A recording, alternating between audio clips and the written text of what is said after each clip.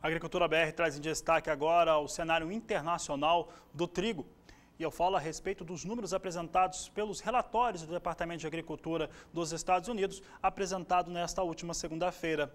Números que apresentaram um desempenho pífio, muito ruim mesmo, em relação aos embarques do cereal, do trigo, pelos norte-americanos. Para se ter uma ideia, até o último dia 10 de novembro, os americanos não conseguiram atingir nem a metade daquilo que era esperado para os embarques na mínima dos operadores daquele país. Vamos ver então os dados, porque ficou em pouco mais de 191 mil toneladas, total de 191 mil e 62 toneladas de trigo que foram embarcados no dia até a semana que encerrou no dia 10 de novembro. Os dados mostram uma diferença muito grande, porque o mercado esperava algo, é, desembarque de trigo pelos norte-americanos entre 400 mil e 600 mil toneladas. Então foi realmente muito fraco o embarque de trigo pelos Estados Unidos.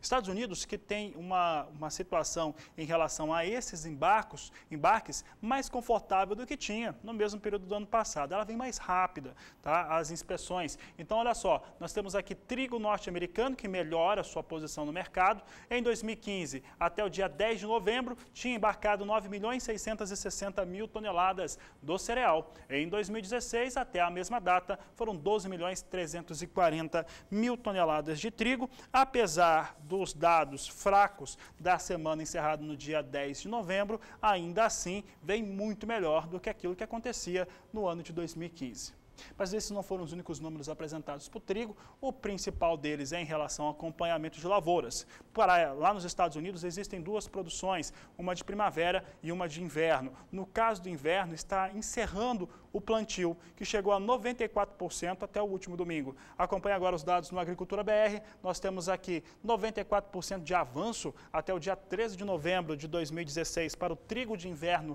produzido nos Estados Unidos, um avanço de, avanço de 3 pontos percentuais sobre a data do dia 6 de novembro, quando atingiu 91% da sua área.